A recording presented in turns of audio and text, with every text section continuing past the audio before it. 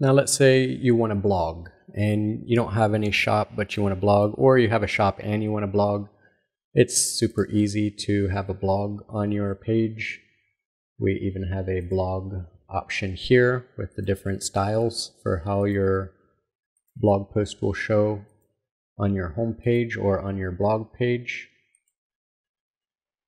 So you select the one that you want. Let's go with this one. Now when you're here and you click on more, you'll see edit post and you just click on edit post and then it will create a new blog post for you, a new blog post page for that post. So now here you can come inside, edit the title. Of course, you'll want to edit the date, the subtitle, edit your pictures. You can add more pictures if you want just like that. Add more pictures if you want, add as many pictures as you want.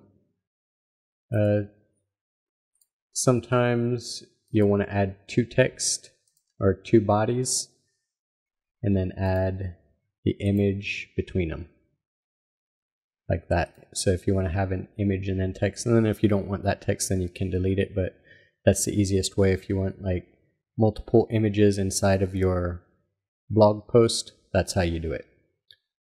So you can see having a blog is super easy as well. You just add the blog element inside that you want and then anytime you want to create a blog post, you just click on edit post then it will create a post page for it automatically that automatically links to this button in this section. And then you edit your blog post however you want, save it, and that's it. And again, when you're ready for more, to add more blog posts, you just add the plus button, go to blog, and then select which style and add more, and that's it.